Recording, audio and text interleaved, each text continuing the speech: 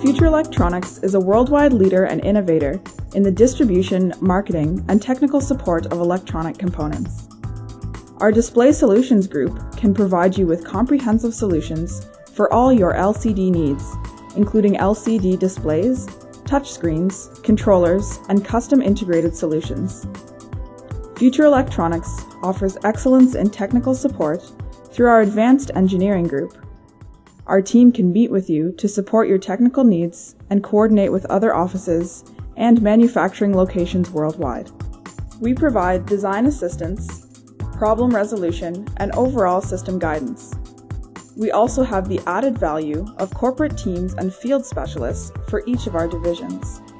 No matter what stage of design or manufacturing, Future Electronics will help you reach your goals. Freescale Semiconductors Incorporated is a global leader in the design and manufacture of embedded semiconductors. Now we want to show you a demo of the i.MX evaluation kit, driving different LCDs using Future Electronics panel interface module. Hey everybody, we've got a great program here from the Display Solutions Group. What it does is it lets you take a whole bunch of different displays and use an i.MX uh, Freescale processor to drive it. So this is an i.MX Freescale uh, i.MX53 evaluation board and here's an i.MX28 evaluation board. Any of these boards can now drive any display that they're capable of, of driving. What we've got is a standard connector on all of the, all of the evaluation boards. Now we've made a panel interface board with this mating connector and now it comes up to both LVDS and regular regular cable connections where we can build standard cables with the mating connectors and uh, the correct other end on it for the particular display and allow any of the i.MX processors to light up whatever they can do. Now included in the kit will give you uh, backlight inverter circuitry and the right software on SD cards so everything just powers up. There's still a few instructions to follow but let me just go through this real quickly and show you how it works.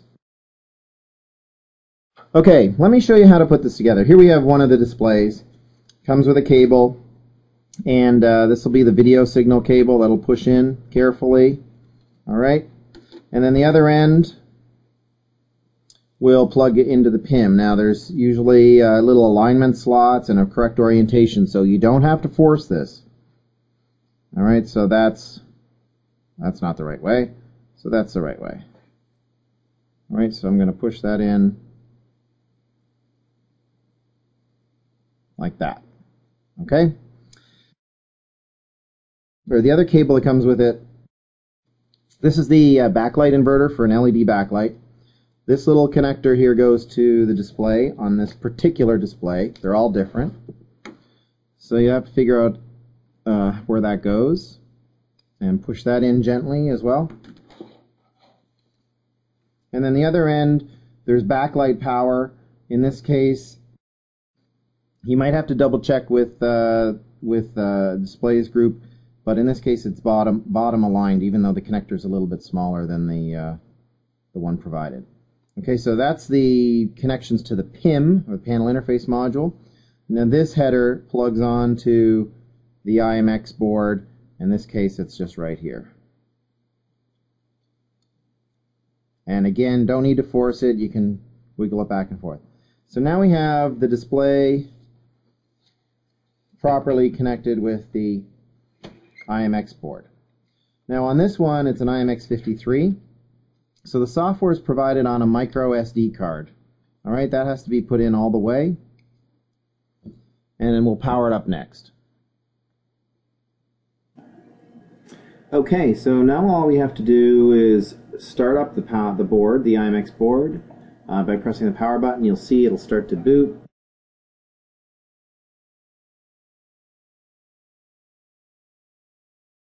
At this point, the display may show different artifacts, and that's a good indication that something's happening with the display, that it's connected correctly.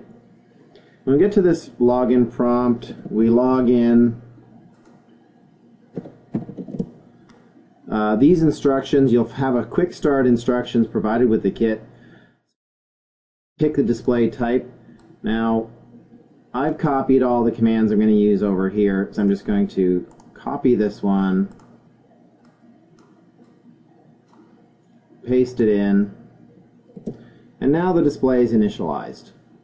Now I can issue the command to play a little video. So this will play any MP4 or other video that you can put on a USB stick uh, on the SD card itself.